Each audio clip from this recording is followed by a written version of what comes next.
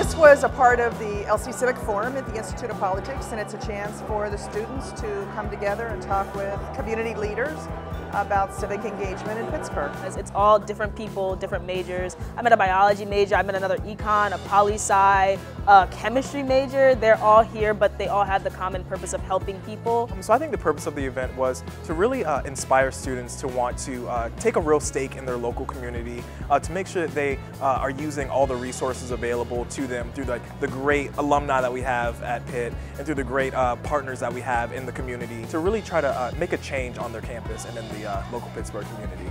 There's a natural instinct that human beings want to be helpful. The main thing is they don't know how to do it. They don't know how to make those connections. And I think what can happen in these kind of events is to start them thinking about how they initiate and make those connections. It was really beneficial meeting with these leaders because, again, they come from all different branches and they all have different ideas, but their purpose is to help people. But it helps with the um the ability for these people to get together and get better ideas of how to give back to the community. You don't want to give back, you want to be in the community. You don't want to throw money at the community, you want to get your footsteps in the community and get your hands dirty. Pittsburgh is, is weird in a good way. Pittsburgh community runs Pittsburgh, so getting the community back in the community is a big deal in Pittsburgh because everybody gave back. This, this place will run like clockwork, and it does very well. And I think a lot, it's getting a lot better as the years go on. I think something that I really gained, uh, and something that's really important, is to just make it about the work.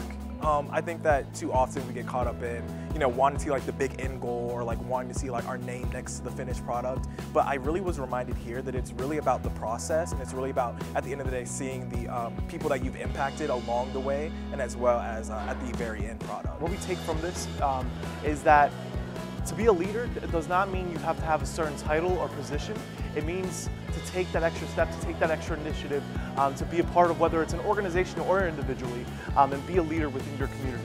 I was coming here tonight, I really did feel that Elsie was with all of us and that is looking down on us um, and very happy that we're all engaged and probably would be a little bit embarrassed that we're doing it in her name because it was never about Elsie. It was always about the community and it was always the good work that was done. And so I think we all leave here tonight and do some good work and that will be our tribute to a special woman.